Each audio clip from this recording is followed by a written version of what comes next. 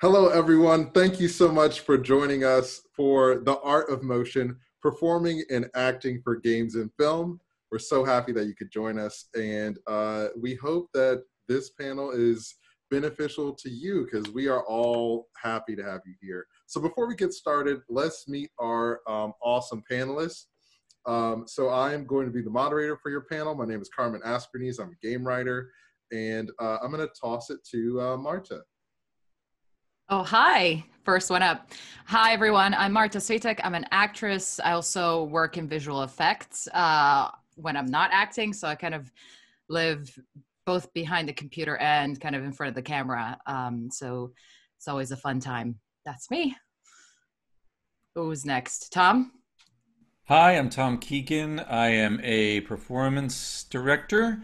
Um, I've been working in the field since 1998 in games specifically. Uh, I've done many narrative games. I do the Wolfenstein games. I've done several Star Wars games, Resident Evil 2, and others, and um, love working with performers. Awesome. Bobby? Hey, I'm Bobby, uh, animation director uh, and uh, animation and cinematic director at Insomniac Games. We did uh, Spider-Man for PS4, and it was pretty fun, and people like it. So, I don't know. Awesome. Uh, Zushi? Hi guys, I'm Zsuzsanna Rácz. I'm from Hungary and I'm a mocap performer and an actress in Hungary. And I also uh, mocap first assistant in uh, Digic Pictures and uh, we've done a lot of stuff. And uh, for example, you can recognize me from the Witcher Night Remember trailer because I played that Bruxa in it. And that's all for now. Awesome. Nosh? Uh, hey everybody, I'm Noshir. Um, you can call me Nosh. Uh, I'm an actor who happens to do a lot of performance capture and voiceover work in video games. Um, glad to be here. And Marc. Hi, I'm Marc Morisseau. Uh, I've got uh, a lot of experience doing motion capture uh, from the technical side as an animator and motion editor um, on different uh, game projects. And I've worked with a few guys on this panel here before. And, uh, you know, I'm just interested in trying to translate a performer's performance onto a character's body. Awesome. Thank you all so much for being here. Uh, so our first question is, how did you all get started and find a way into performance capture slash video games. Um, so why don't we uh, throw this one to Tom first? I was uh, the in-house performance director at Vivendi Games um, in the early 2000s, and we had a a license for American Idol, but as a dance game. And so the company said, oh, we need to hire a choreographer and we need to have bits of dance put together that a player can add on. And um, I had a background in movement and dance, and I knew some choreographers.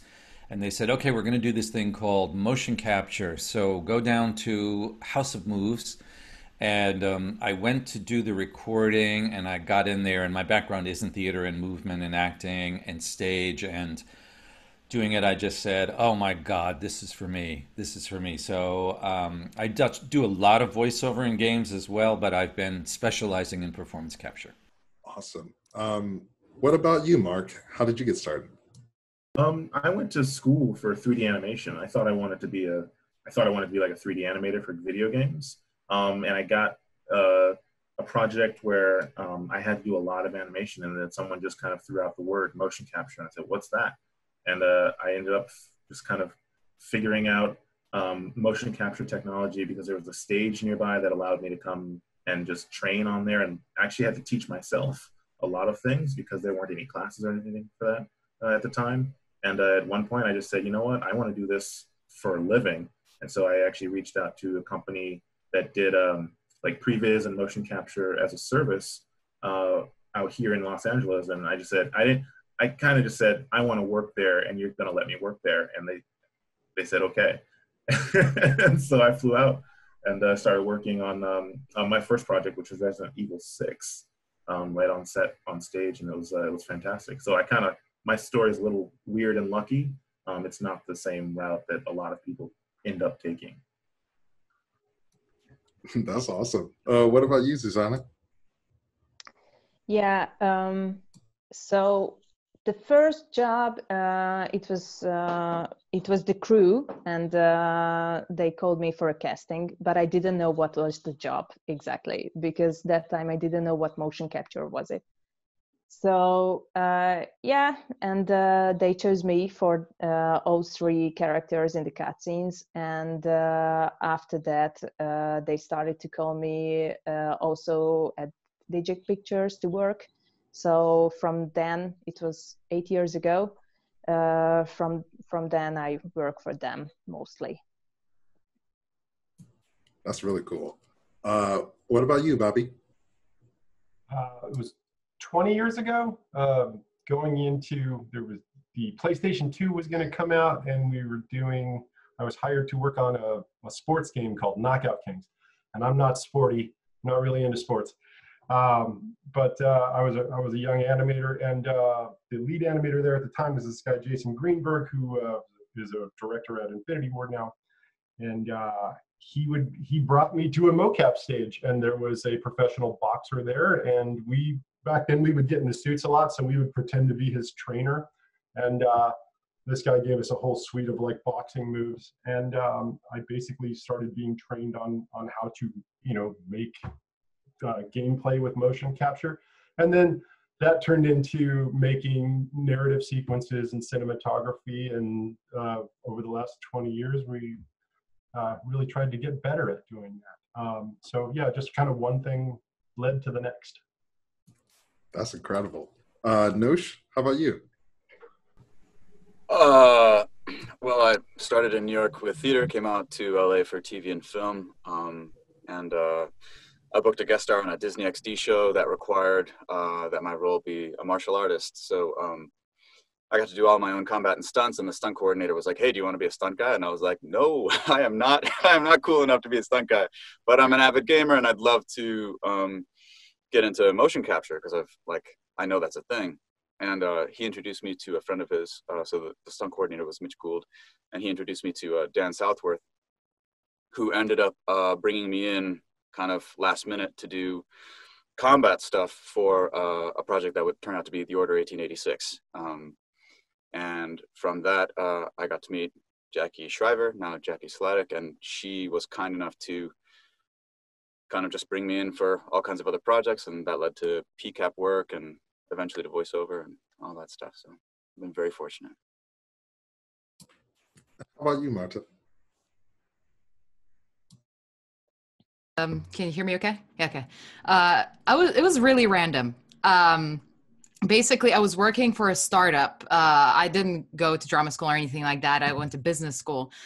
And uh, I was working for a startup here in London, and we would uh, get about a hundred pounds a, a month to spend on any kind of course. They would just this was like a little personal development budget that they would have because that's so you know fashionable with tech startups uh, next to the bean bags bean bags. Um but yeah so i was like well i've just gotten back into acting. I was part of a bunch of immersive theater productions. My zombie game was on point. And i was also uh really really i have always been a gamer. And so i was like oh maybe i can learn a little bit more about you know motion capture. I was aware that it was a thing. So i googled i found an introduction to motion capture course and i went to try it out. It was only one day and i was like oh my god this is it this is i love this this is and i you know i got into it i think just through sheer determination and everything just absorbing everything to do with the medium with performing for it um it, it was just it wasn't like one of those things where i just got the role and then then continued it was a much slower burn but you know enjoy the journey. Yeah varied experience all across the board. Um, thank you all so much for sharing that. So, our next question um, is What inspired you to become a performance capture performer? Um, so, um, Susanna, do you want to start?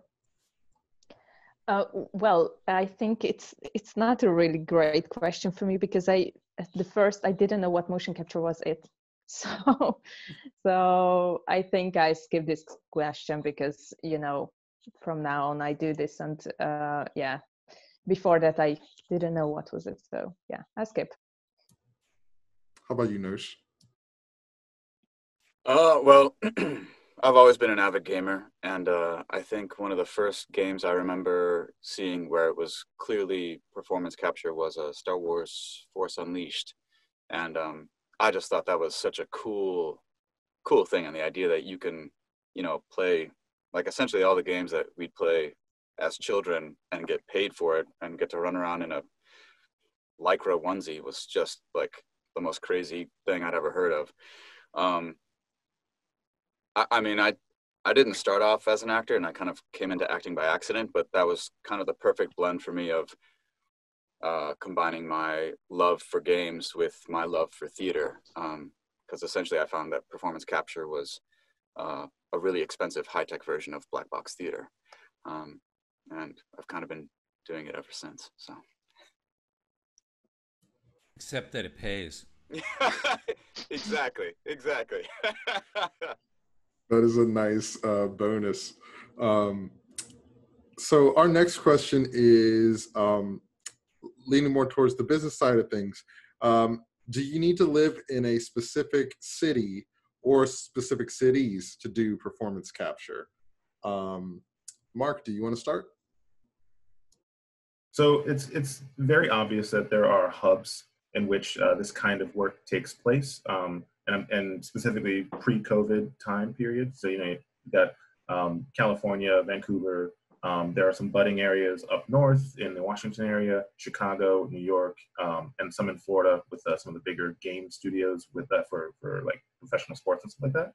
Um, but now, uh, post COVID, now people are looking at solutions and doing this anywhere. So now you have a, a lot more uh, mocap and performance capture setups that are smaller, more mobile, and uh, that's becoming more of a priority just to different developers and different individual groups. Um, so now it's not, and of course there's London and you know Centroid and all these other places. Um, Montreal. Mon- Montreal. I've never been to Montreal.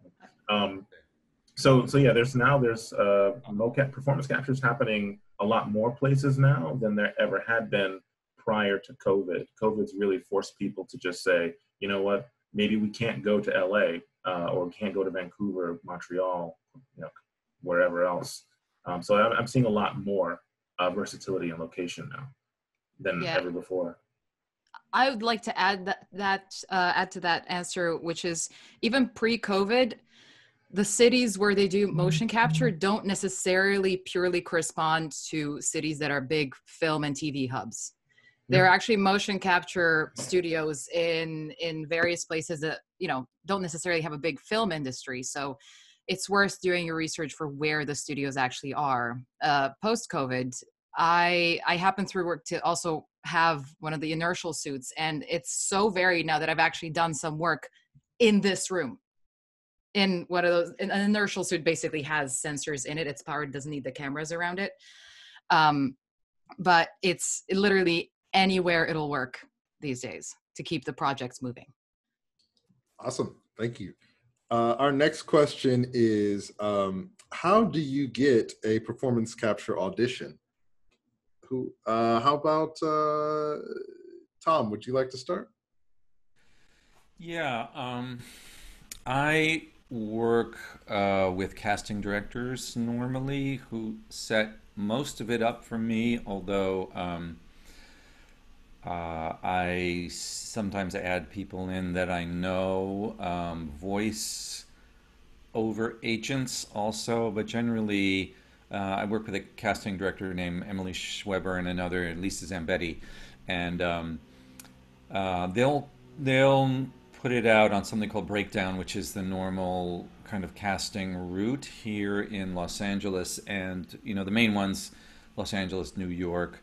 Um, in London, I've done a lot of auditions in London. It's through agents also. Spotlight. I worked with um, Dan Hubbard over there and Amy Hubbard. Um, generally, the more high profile projects uh, want really better actors. Um, so, you know, people always ask me what is the what what is the main thing I should study for, and I'm sure we can get into this more. But it really depends on what kind of performance capture actor you are. For for what I do mostly, number one is your acting.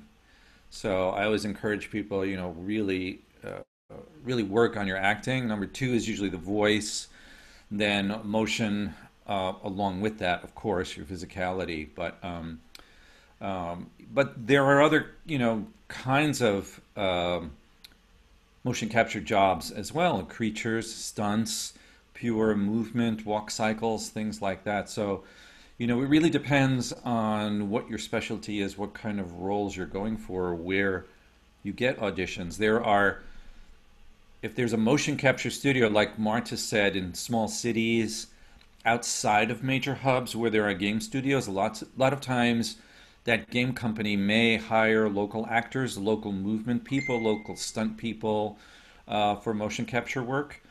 Um, so it's really making an alliance, getting a contact with whoever at that studio is responsible for bringing in talent and booking talent.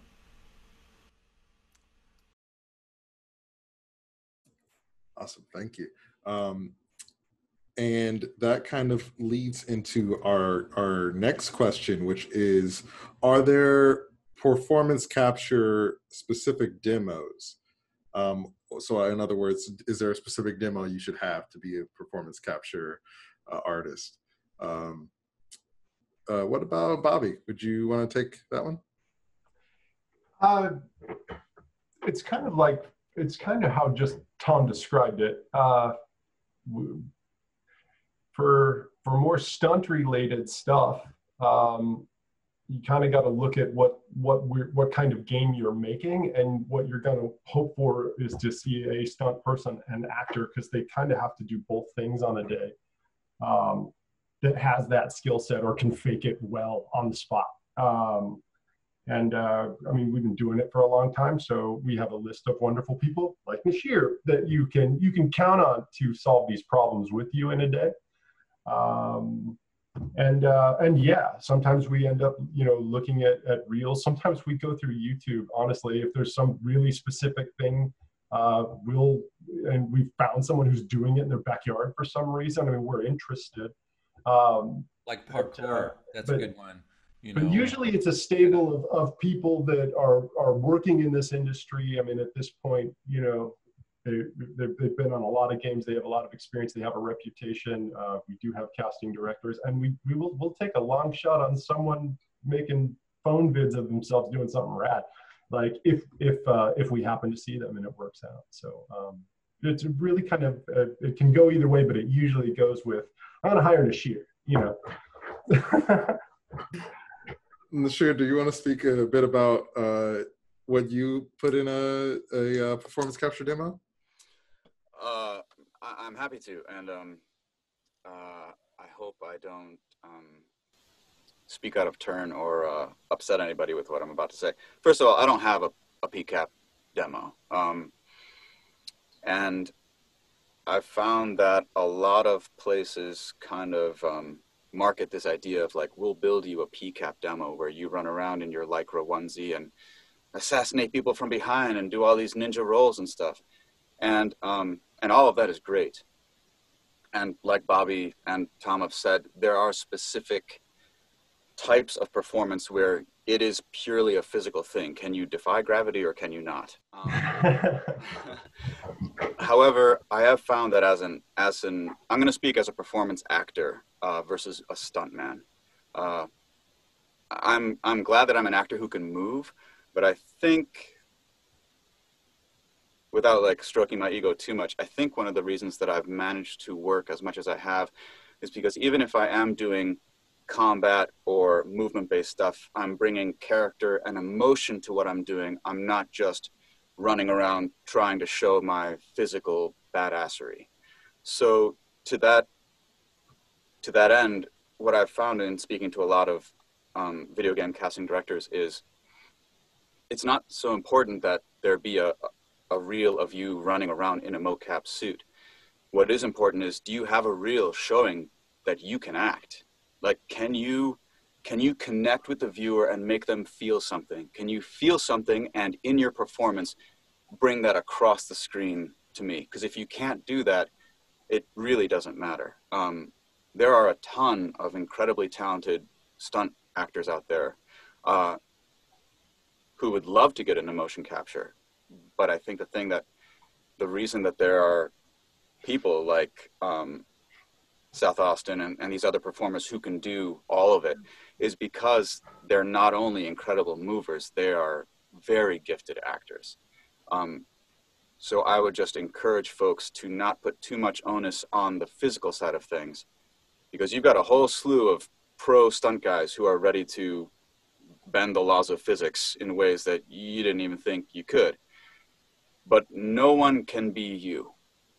And so learning to bring your truest self to your performance and putting that in a demo is going to be in my in my estimation what gets you hired i just want to slightly throw a spanner in the works there from a european perspective um, simply because because I, I 100% agree with what Nosh just said um, that said in europe it's an odd thing because we don't have such a strict delineation between actor and stuntman. And we have this middle ground called SPACT or special action, which is kind of where also I live. I'm I'm quite a physical actor. I love my swords and lightsabers and and fisticuffs and all that kind of stuff. And I love being able to, you know, express that while bringing character to those movements, just like No said. Um, so I do have a performance capture reel, but that is it's kind of split into hey, look, first of all, I can act. And then second part is look, I can also move. The acting is definitely the more important thing. And uh, to be honest, I wouldn't have even brought this reel up because to me it was more of a hey, I, I happen to have enough footage from the volume. Let's make something of it. I wasn't out there trying to get it. But uh I, I happened to, you know, just last week I was in in uh, in Paris where I got booked off of my performance capture reel, which was very odd. But they were also looking for somebody who acts and has that, who can act and bring gravity to this character, but also can handle what was actually an intensely physical role. Uh, but it was very crucial that there were deep character moments that broke through the physical strain. And believe me, in literally 100 degrees in a suit, there was real strain. But yeah. That sounds intense. yeah, and, and, let me just say, Marta, I agree with everything you're saying, um, 100%. And um, yeah, I, I do have like a, a movement or action reel that is like my gun work and some of my combat stuff.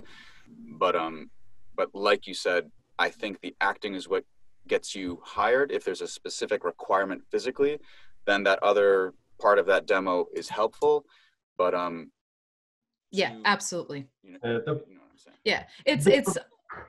Oh, I was just gonna say in in Europe, it kind of just they're still looking for people who can do both essentially. They're that it's also because that, yeah. that's that's everything. I mean you you need to know a stable of of problem solvers like all people who can do all different kinds of things. And that's one of the things that's wonderful about someone like Noshir is he he can uh we've had him play children we've had him play old people. He has been boss fights. He has uh, danced like a drunken college student um, and and he can he, he can he can give that to you. And I, I tell my our production manager Carla, if we're gonna have a big day and I need a lot of people, I mean that's like so we need to pack the right Swiss Army knife for the day, you know. So I'll tell her like I need all the crayons, I'm gonna need all the colors, um, and so that means I might need some people who are just very physical, some people who you know if they run and flip in the air, they fly, they defy gravity. Uh, like Shiri Booker is a great example. Like, like the kid can fly. Um, so uh, you know, and then there there might be other things where I need someone to be funny, or I need someone to ad lib like maybe three four hours of civilian stuff. And like to me, like I think of Kevin Dorman, like right off the bat. You know, like man, can that guy just ad lib fun stuff all day long for you? And like that just makes your job easy when you're like action, awesome, cut um, so that's that's kind of how you want your day to go. You want it to be, you know, as as fun as possible, and you solve the problems together. uh, and, and communicate. It should be a good time, in my in my opinion, if you're working with the right people and you can afford to have enough of them there to solve all your problems that day. Um, but but yes and yes and so yeah. Sometimes we look at reels. Sometimes you don't need one anymore because you're awesome. It's all it's all it's all good. There's no wrong answers in life. Well, there I think, like what Marta said, it's an important note. You rarely get booked right off the reel because there's too much writing on it. You bring in a performer, you want to know how are they to work with? Are they reliable? And like Bobby said, we pull people that are reliable. We know they're pleasant to work with. They show up on time. You know, it's it's amazing how much how that basic stuff really counts. But I think that the reel is a great backup. It it shows more of what you can do as a performer. At the end of the day, for a lot of what I do, it's the audition. It comes down. You still have to come in and audition, unless I really know you well. But mostly, it's not just one person that gets to decide. Since games is such a team thing, a lot of times you see somebody you like, you want to bring them in, but you have somebody who doesn't know them, and, they, and you have to go, hey, look at their reel. I've worked with this woman, I've worked with this guy.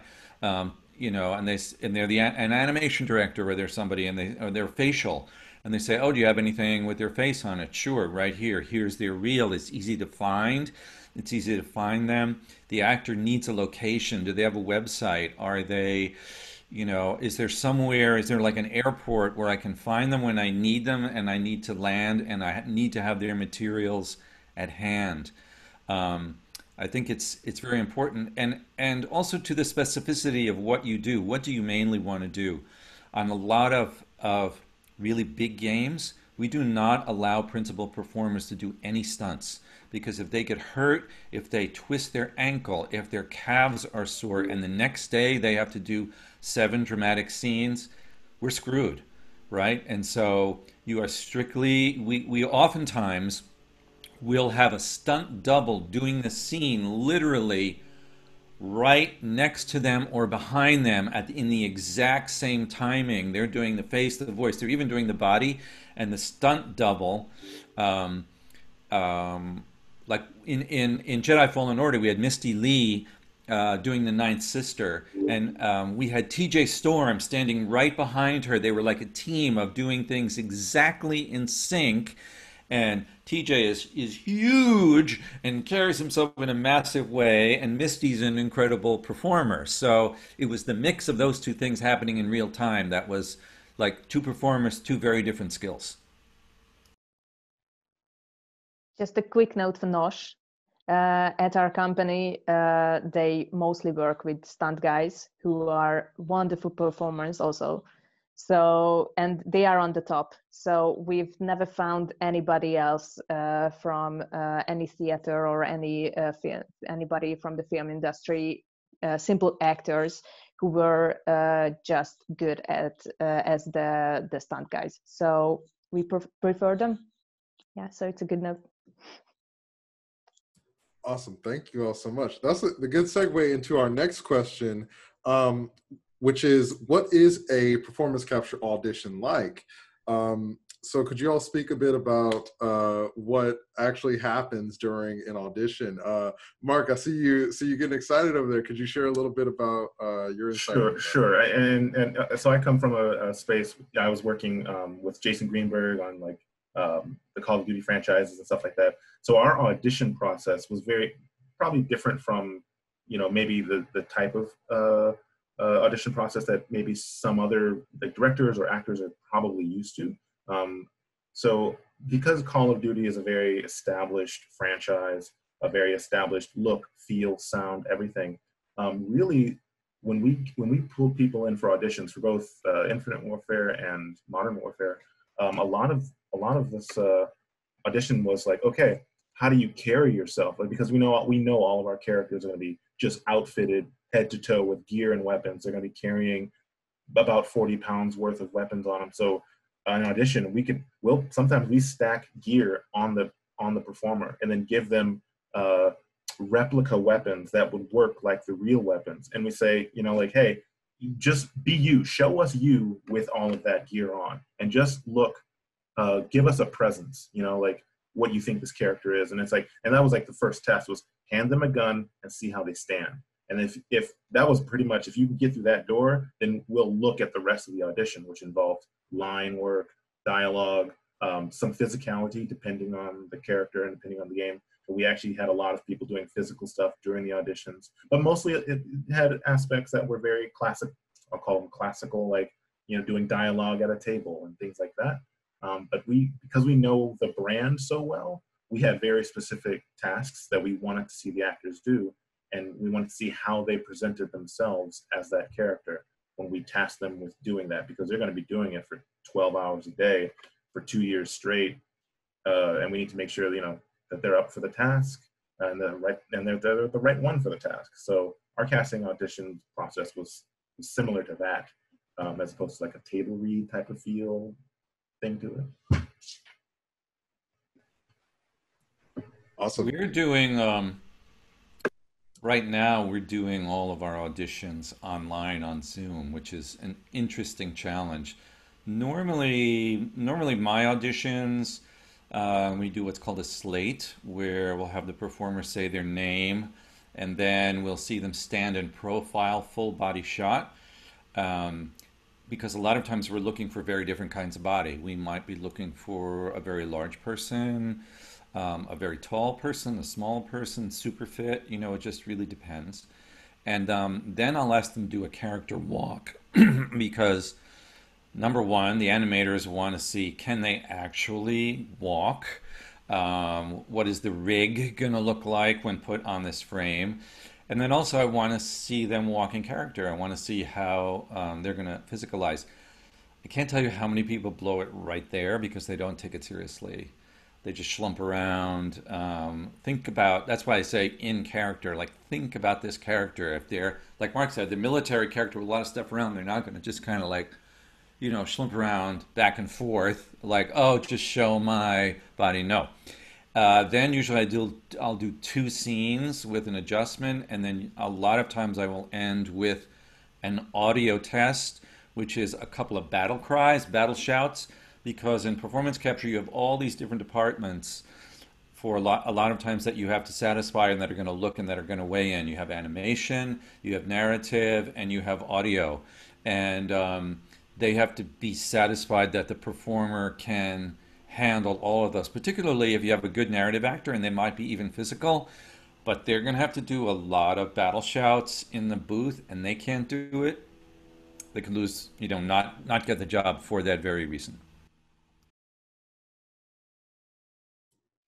I just uh. wanted to add that during my first audition, I had never been so extremely aware of what my arms are or are not doing. I've never felt so aware. it was really awkward. Uh, yeah, Tom. Tom nailed it. Uh, just you know, basic motion. Um, if you're doing combat stuff, you, we, want people who have some experience doing that or look natural doing that. Um, yeah, there's ours for for more major parts. Uh, they might look just like a Hollywood audition or a theater audition because you're going to kind of come into the space and use props. Um, sometimes we'll really look at your base locomotion and um, your uh, voiceover ability because as it turns out i mean you might be in four or five scenes in a, in a video game but you might have 4000 lines of dialogue uh, that happen over gameplay. And uh, sometimes people uh, forget that once you remove how cute you are from the equation is your voice great? Um, you know do people feel what you're doing? And that that's that snags up a lot of people. Um, so uh, we try to do our research and narrow it down uh, but yeah it, people come in and audition and uh, there's usually two two full scenes to do and then maybe a voiceover test uh, and that that gets us to the process of narrowing it down Can I can I add one thing? No. Um, so uh, I've actually also had the chance to be uh, like a reader for for some performance capture auditions, and um, so if it's a if it's a live in person audition, oftentimes uh, as a reader, what I was asked to do is um, because a lot of these folks are coming from on camera, right? And in on camera, the focal point is is is set but in performance capture that camera can be anywhere. And often that camera is the player which means that the camera is literally wherever the player deigns to go.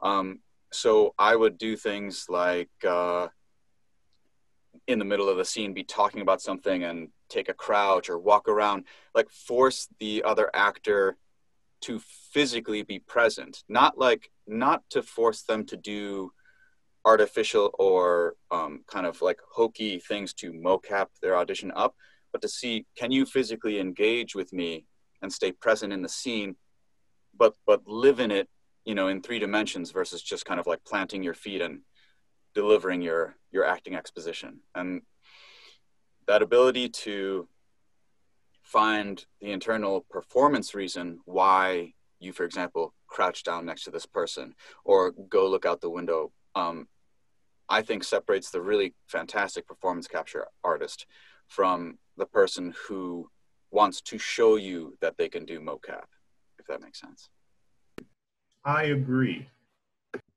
Yes. But uh, I wanted to highlight. I wanted to highlight something that both Tom and and, and Bobby said though uh, on the vo- vocal part.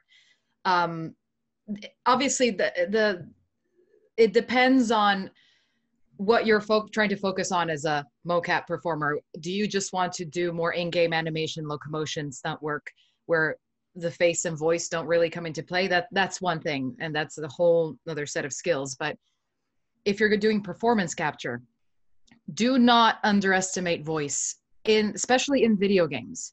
Uh, film again could be slightly, mm, but you will never scream as much as you will scream consistently in a video game. And so when you have the time, especially now, I've been dedicating a lot of time to actually training in vocal extremes uh, because I don't speak to as many people. So even I'm more silent than ever. So it's so important for you to get some education to how to push your voice to an extreme, to, to scream and keep it healthy and safe and to be able to, like Tom said, you could blow your audition because you're, you're going to those places in such a way that anybody in the room can hear. You're not going to be able to keep that up for three days straight. Incredible insight. Thank you all so much. Um, our next question is um, what is the hardest part for you about your job? Um, Zsuzsanna would you like to start? Yeah, sure. Um, I think, um,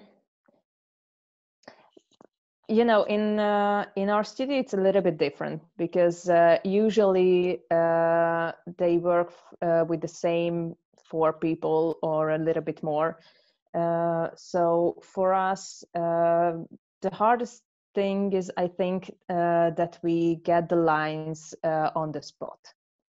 So usually, if if it's a if it's a longer scene, I mean, uh, with a lot of lines or something, uh, they can send it uh, over to us uh, before the shoot. But if it's uh, just a few sentences and uh, and um, for example, ten sentences, we have to learn it on the spot while they are calibrating us and putting on the markers and and um, and stuff like that. So um, so I think, and and we also get the and any and any info of the character on the spot. So I think for us, this is the this is the hardest part to. Uh, because you have to learn quickly you have to find out how would you like to do the character quickly uh, how does it work uh, you have to uh, watch if you can if you have any info about how the character looks like uh, you have to try to match your movement to it. And um, and for example uh, in hungary as we can as i see other actors for them the hardest part is uh, controlling their body. Uh, and um, yeah because because in Hungary uh, the educational system is uh, not using uh, on on stage and and on on anywhere uh, how to use your body. So uh, you have to really uh, learn to control your hand as marta said and uh, and uh, not to uh, do anything like rolling from your one leg to to another and uh, and yeah and be and be consistent with it. So yeah i think this is the hardest part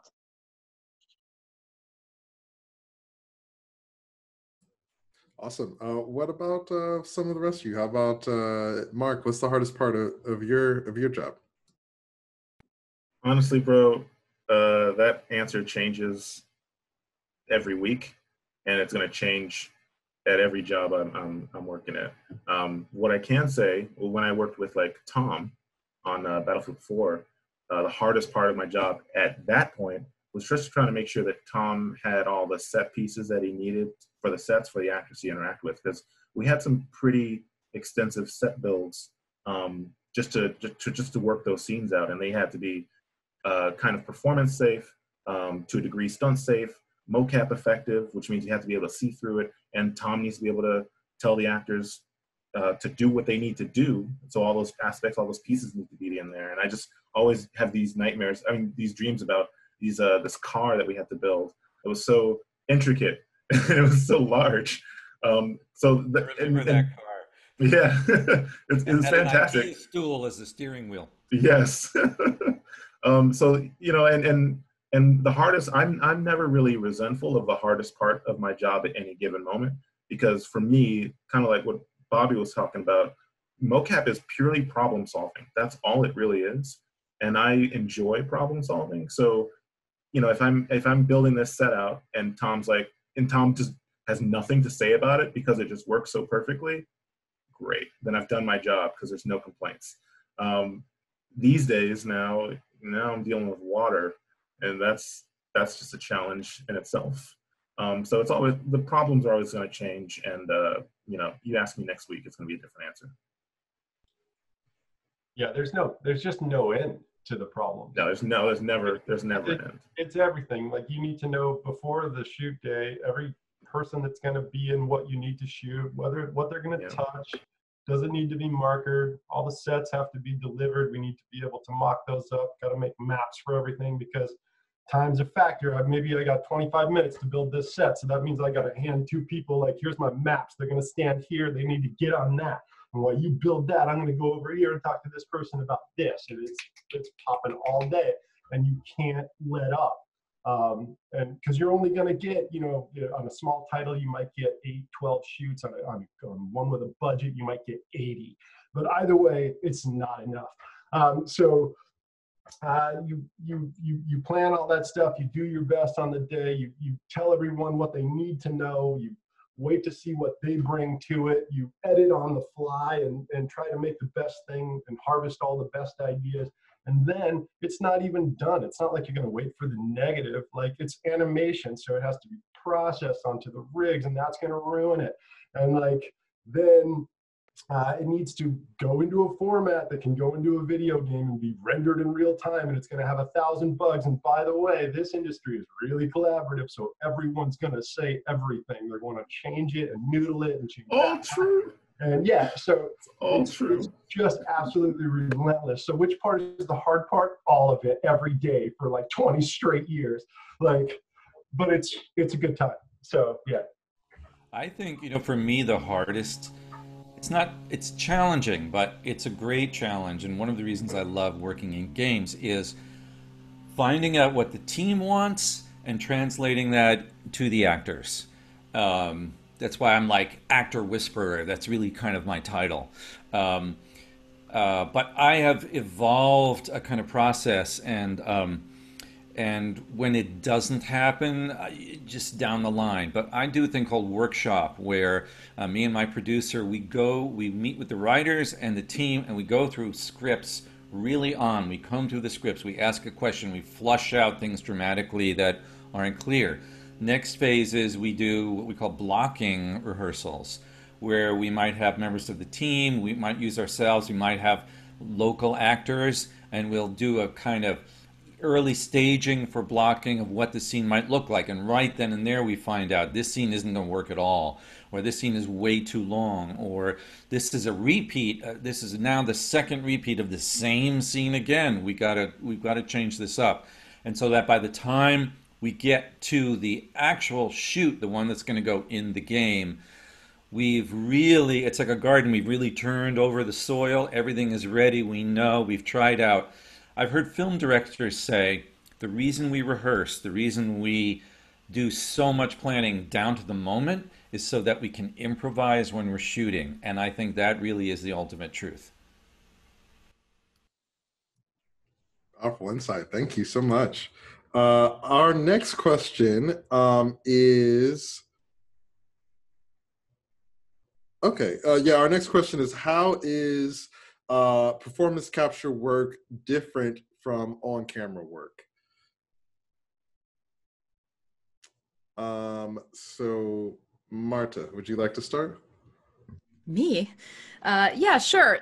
So, I think, well, one thing I'd like to highlight first is one thing Nosh said, which is the camera in motion capture in, in a digital environment can literally be anywhere. You know, the wherever the gamer chooses to look at you, whatever angle. And so you need to be very much aware of that. At the same time, these ultra close-ups like this they more or less I, they do exist in games cinematics and things like that but they are very rare um and so therein is the first big difference which is you have a much wider viewpoint much like more i guess you have a 360 environment that you it has to sell your performance has to sell from every single angle no matter no matter how close or how far the the player or that camera is. Uh, whereas in in movies you can cheat a lot of things very easily because of framing. You can have you can do certain things out of frame. You can uh, convey very very detailed emotion with just this with just your eyes just a big close up you don't at least at this point in time you don't really get that luxury um, in in motion capture and that's why understanding your body as pretty much everybody on this panel has said understanding physicality the physicality of the character is so so important because you you can never afford not to to do that with your entire being in motion capture whereas in in you know in film you have well you have other challenges in film I'm not saying like oh mocap is so hard and film is so difficult both have their challenges um uh, with film, for example, it is about how well you emote, how well you can work the camera, and and and that is an art in itself. Um, but those, to me, in my from my perspective, are the biggest differences. Um, it's it's, but at the end of the day, it's still all acting. If you're a good actor, you'll be able to act in both. If you're an actor that's aware of their bodies, of their body, bodies, what multiple body, uh, you will be able to get a good final result. Always serve the character. And also, uh, I think uh, the big difference is uh, you can also in film you can also cheat with editing, and uh, I, maybe it's just in our because we usually do just cinematics but uh, for example uh, the scenes uh, are in full from beginning to the end. Because in in in cinematics and in in, a, in motion capture it's not that easy to uh, to edit and uh, and um, because of yeah the framing and everything. So uh, you have to you have to start from the first line then you have to finish it and you shouldn't stop in the middle that oh my god i fucked up i'm sorry or something like that but and because it's it's it's it won't it won't work so i think that's also a big difference we actually like to shoot uh, in continuity, like a like a, a, scene as like a like a play, just because um, it, it tends to ground the actors to each other and and, and make continuity when editing. Because uh, on on the titles I work on, we do edit some games. I haven't worked on a game that doesn't have camera cuts in a long time, but they exist. Um, so yeah, so some people just won't have it. Some some teams actually do bring in a virtual camera now, so the actors know how it's being framed up. Um, but that's just a choice because you can, I mean, obviously I'm an animator and animating the camera exactly how I want it later to me is less hassle than also choreographing a camera person on the day and worried about what it looks like. We can just have these people do this naturally and then figure out how to cover it later. I think that's the fundamental difference between film is they have to know how they're covering it on the day. Whereas all I have to worry about is do I believe this performance? Do I believe that they are using this space how they how they should? Um, and then I can go later and figure out do I want to close up on this or is it better as a wide? Like that, that's a huge luxury that I have in this industry, you know. So uh, yeah, Nosh was going to say something. Uh, uh, um, so I, I, guess if uh, if an actor is used to working on camera, um, the camera reset, the time it takes to move from position to position and all that other stuff in mocap doesn't happen because the camera is digital. So you're not going to like run a part of a scene and then have a cut and go to your trailer and go hang out while they take like 40 minutes or an hour to set that up. That's going to go. There is no there is no downtime, um, and that also means that especially if you're a if you're in a physical performance, there's no camera reset. So um, sometimes that means that you'll do the same scene 15 times in a row with minimal gap, right? And so that that's a it's it behooves the performer to have the physical stamina to be able to do that. For example, um, another interesting thing about performance capture versus um, on camera, you have this HMC on your on your on your face. So you're wearing this helmet with this camera pointing right at your schnoz in the most unflattering way possible, and it's like hanging like a foot or more off of your face. That means, for example, if um, if I'm supposed to be using like uh, a rifle or anything with an optic or anything like that, and I bring my gun up to my face, if I get like full cheek weld, which is what I should be doing, that optic is now like smack in the middle of that HMC, and you know they have to cut because I just ruined the take.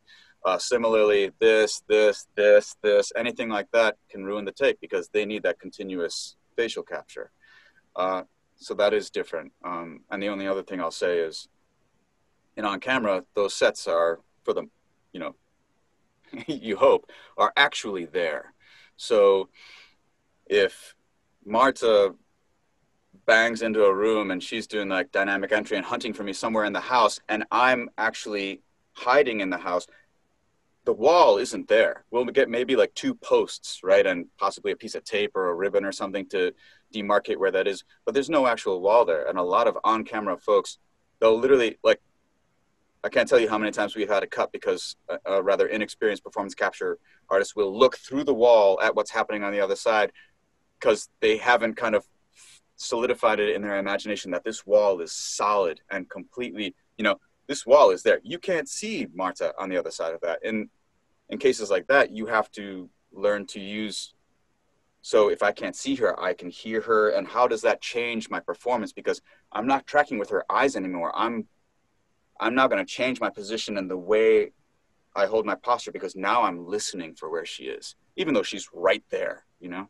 And those kinds of things put a lot more onus on the imagination of the performer and kind of making that world as real as possible for you because you don't have the time to kind of make those mental leaps in the moment if you're going to stay you know truly in the story developing a really strong mind's eye is is very very useful. But i do want to make a note of um uh, film productions as well that and virtual production. It, it is something that's not just useful for the mocap volume. It's very useful on a green screen set having those same skills green or blue screen whatever pick your color. Um, it's it's something that's bleeding into a lot of big productions where it's games or movies or tv even tv now has budget for these very complex virtual sets. And even though you see those you know like what they did with the mandalorian where you have the real time it's so good. I know it's so good. Uh, and that is such a big resource again bringing it back into oh here's something a visual reference everybody can have. I found it very useful actually to talk to anybody i'm in a scene with uh, and the director and obviously the team about any details they can give about the environment so we can actually all kind of be on the same page and see the same thing it makes a, a big difference but those are things you have to essentially uh, you know worry about when when when you're on there it's to you know never be afraid to ask yeah we even do on, on much like coming up like Mandalorian virtual productions where people can actually see the digital environment. God, I hope we can uh, do mocap that way, or or or not need mocap because of it. That that, that will just be incredible. But going back to the lowest of low tech, even even capturing someone running forward or punching, just having someone stand in front of them so they can make eye contact will give you a better performance. There's like a, you know, a first baby tip in, in uh, getting attentive locomotion or attentive uh, like aggro behaviors. Like someone angry is one thing, but someone angry at you is different, you know? Um, so uh, yeah, just little things like that, whether it's the environment or who they're supposed to be looking at, it's, it's important to sort of communicate those ideas or, or uh, make them as real as possible under the circumstances. There definitely is a completely different process for the actor. Um, I, I, get in the suit usually every production, and you know, for one more, I do my Alfred Hitchcock, um, and um, I'm always struck by how you come in and you strip away you you put on this cat suit, you take off your clothes. Your costume is this neutral suit. You're wearing shoes, you know, bowling shoes. You um, your face is turned into a dot matrix. Your hair is put into a cap, and you cannot hide. You cannot hide behind a gesture, moving your hair, or the costume. Um, I do a complete sound, breath, and movement warm up at the beginning of every rehearsal and every performance capture day because an actor, a performer really needs to be anchored and focused inside and bring it out. You know, there are various levels of subtlety depending on the game, depending on the face, how how well defined the face technology is going to be for this particular game. So you have to be able to scale the performance a lot. It may vary from game to game, but um, it has to come from inside and then it has to be expressed physically and vocally. As opposed to on camera, where you you spend a lot of time in makeup and hair, and look beautiful, you're in a stunning set, um, you have an amazing costume on, and then you're just told, go, say the lines. Incredible. Thank you all so much. Um, we're just about out of time thank you for submitting all your questions. We couldn't get to them all, but um, you know, if you have other questions, then feel free to um, you know post us in the chat. If we're available, we, we might be in the chat. You can always uh, you know reach out to people on socials. But before we go, um, I'd like to go around get final thoughts from everyone. And um, if there's stuff that you're working on that you'd like to plug or where people can find you, uh, feel free to share that information as well. Um, so, uh, uh, Tom, would you like to go first? I'll just say um, it's so important to be adaptable. As I start to say, we're doing all our auditions on Zoom now because of COVID. Um, there are very different protocols on the set. Um, I read somewhere recently a quote that a person who is flexible is a person who is going to survive and thrive. And I think it's so true. Um, you can find me on Instagram at Tom K Studios, T O M K Studios. Uh, also on Facebook, Tom K Studios, and Tom K Studios at Gmail. Um, and I also do training and classes as well. So keep in touch. Awesome. How about you, Marta? All right. Uh, final thoughts is um, you shouldn't get into mocap because you're a mocap performer. It's it's acting. All of it is acting at its very core whether you're physical not physical.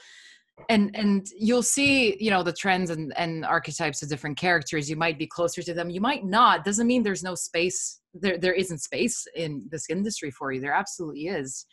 But work on your acting first and then get into everything else and i think it'll be a, a much more pleasant journey for you overall um, and if you want to follow me, I'm on pretty much all the social medias at Mart Holio. Yes, for those of you who know uh, Beavis and Butthead, that is that reference because I thought it was cool in college.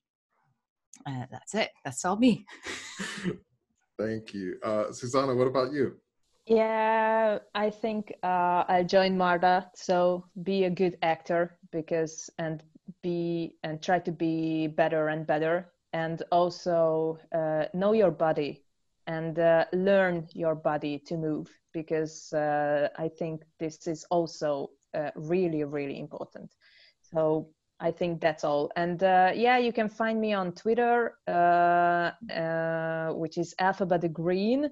And on Instagram, you can find me uh, ju.rat, uh, and it's uh, zsu dot uh, R-A-C and Z.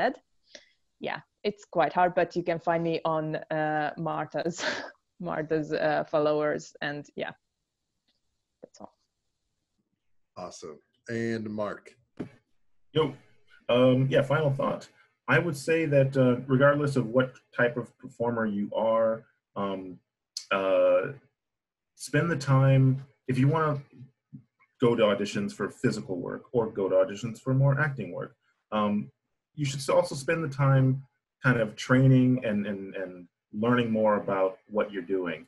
A lot of times I, I get reels all the time um, and like, oh, hey, can you put me in this shooter game, blah, blah, blah. And they showed me a shooting reel that looks, you know, not, not the highest caliber um, because they just haven't invested the time uh, in, in their self to just uh, get that skill to, to a level that they can portray it on screen or in mocap convincingly. So I'd say spend the time, learn the skill that you're looking for, whether it's technical, whether it's animation, whether it's a, a performance based or whatever. Just learn it, um, and I can be found on um, uh, Instagram at that mocap guy. And uh, I don't know what's happening in the silent party, but uh, I'm sure it's entertaining for some. Uh, okay, but yeah, that that's that's all I'd say. Awesome, thank you, Marc. Uh, what about you, Bobby? Yeah, no, you, you guys have, have said it all. I mean, be, become an actor. It, it, this is just acting. How you capture it is not not necessarily relevant. Um, it, there is this. I don't think. I don't think this action thing's going away. Um, so if you can get good at weapon handling, gun handling, falling down, flipping, you're going to get more work. Um, you know, it might be different kinds of work, might not be the work you expected to do with your life, but uh, bills come and work is cool. So uh, I would uh, I, I, I, would round out your skills. I mean, take voiceover just as seriously as like, can you uh, uh, reload a rifle? Because it's going to come up and it's going to be the reason you get called back for a lot of video game work. I mean, you you don't. I mean, you might not be into guns. You don't have to be, but it's acting. Like, can you act like you are a super soldier from the future? Um, yes, and that's fun. That's a good time. You know. Thank you. Uh, and Nosh.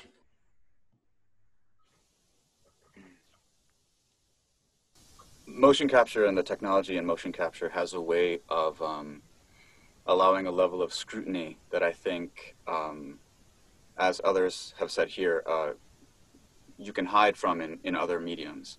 Um, and I think uh, the really interesting thing is that motion capture allows you to play almost any role. Um, what becomes most important isn't that you can be somebody else, but that you are able and willing to be honestly yourself. Um, and that's the bad as much, if not more, than the good. And if you can learn to tap into that, right, um, and not be self conscious about it, uh, you'll go far. So beautifully said. Thank you all so much. Thank you again to our amazing panelists. Thank you for joining us. I'm at C Askernes on Twitter and Instagram. And thank you. Enjoy your PAX. We'll see you all next time. Bye bye. Thanks so much. Bye. Bye. Bye. Bye. Bye. Awesome. Good luck. Take care.